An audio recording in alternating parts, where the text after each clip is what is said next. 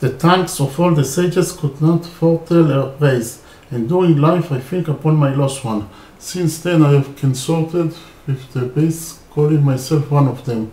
I am sober for death, not else I entreat of God.